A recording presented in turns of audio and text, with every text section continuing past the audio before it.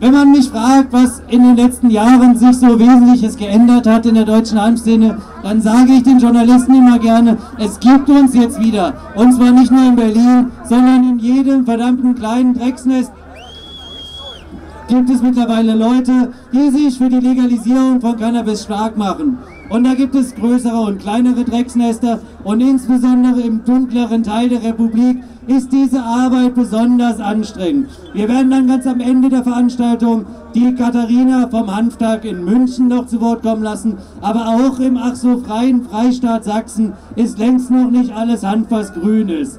Deshalb einen dicken Applaus für Stefan Acker Fichte vom GMM in Dresden. Danke, Steffen. Ja, also mein Name ist Stefan, wie er schon gesagt hat, aka Fichte aus Dresden. Ich bin 25 Jahre alt, äh, selber berufstätig für ein recht normales Leben, bin allerdings seit meinem 18. Lebensjahr an Epilepsie erkrankt und die macht mir wirklich schwer zu schaffen. Seit inzwischen zwei Jahren versuche ich fast Cannabis zu bekommen, weil das wirklich das Einzige ist, was mir hilft. Andere Medikamente schlagen meistens ins Gegenteil um, anstatt zu helfen. Aber der Kampf ist in Deutschland wirklich extrem schwer.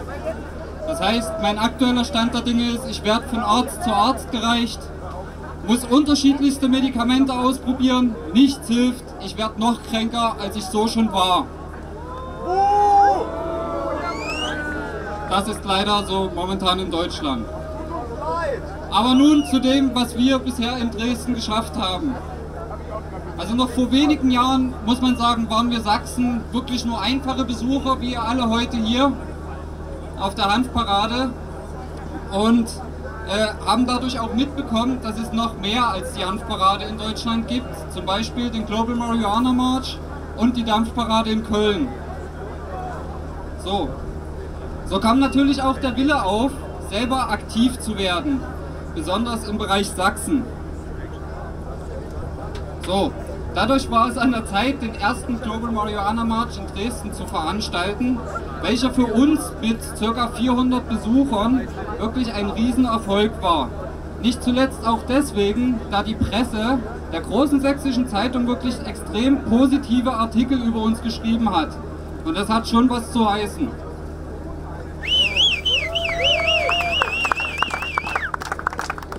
Zudem ließ dann auch der nächste Erfolg nicht auf sich warten. Die Dresdner Piratenpartei plant jetzt für die Dresdner Neustadt einen Cannabis Social Club.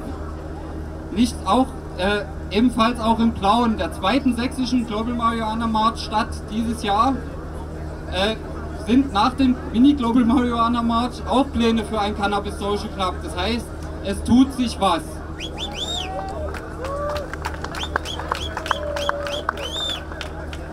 Also, um es mal zusammenfassend zu sagen, noch vor wenigen Jahren war Sachsen wirklich ein weißer Fleck auf der Landkarte der Legalisierung.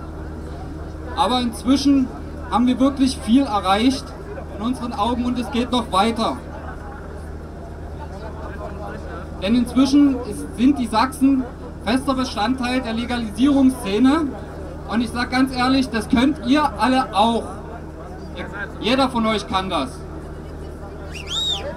Ganz, ganz einfach geht es. Schaut euch einfach im DHV-Forum im Internet den Link vor Ort an. Dort werdet ihr Aktivisten in eurer Nähe finden.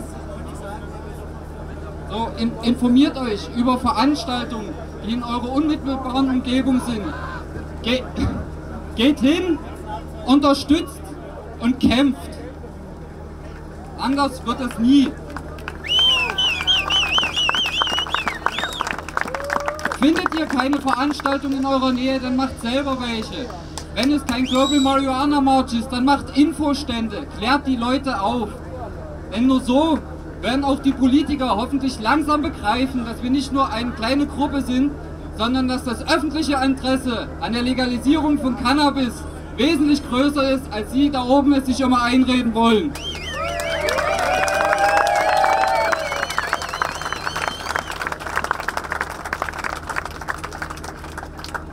Für mehr Infos über uns Sachsen könnt ihr natürlich jederzeit auf Facebook gibt es die DHV Sachsen Gruppe, wo ihr euch gerne mit einklinken könnt, wenn ihr jetzt nicht gerade aus Berlin kommt, sondern die Sachsen etwas unterstützen wollt. Es gibt die Seite gmm-dresden.de.